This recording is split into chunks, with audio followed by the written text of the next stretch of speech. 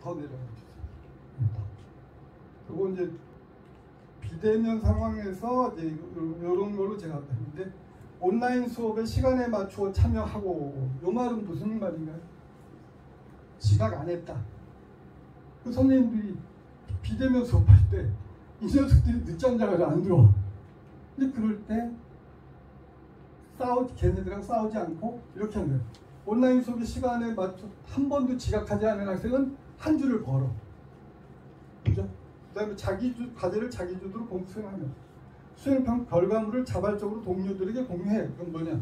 비대면에서 스스로 과제해가지고 카페에다 올렸다. 네. 이런 식으로 다 이렇게 표절하셔도 돼요. 자, 이렇게 해놓고 쭉 내려갑니다. 자, 날로 먹는 걸 보여드릴게요. 쭉 내려가서. 자, 이제 다 끝났어요.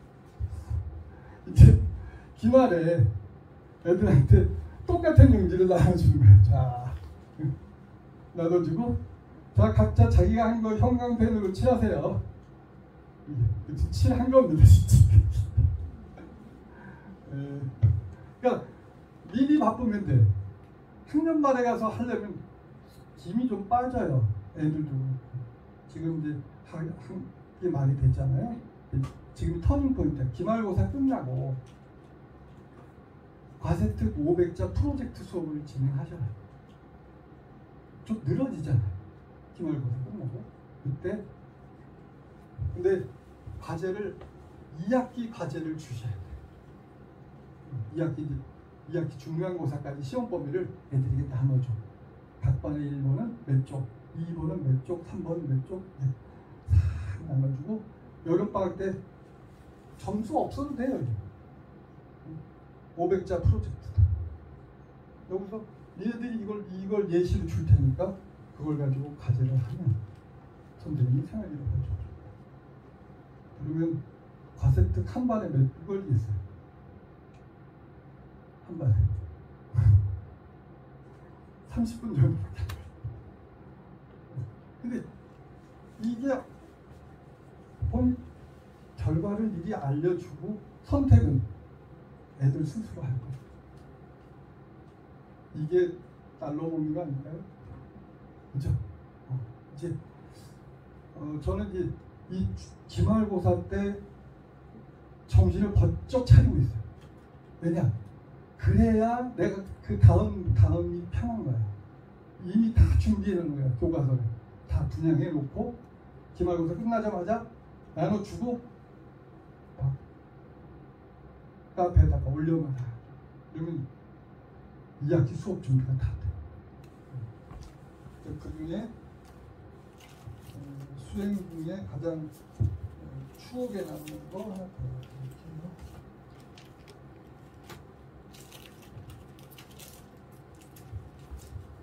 애들이 이렇게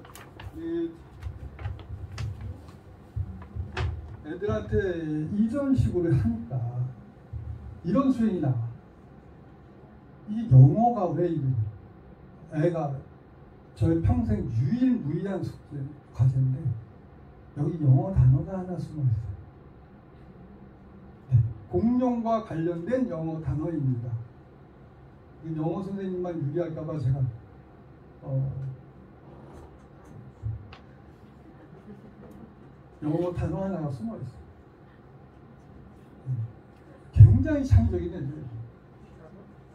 네. 이 왼쪽부터 E가 보이시나요?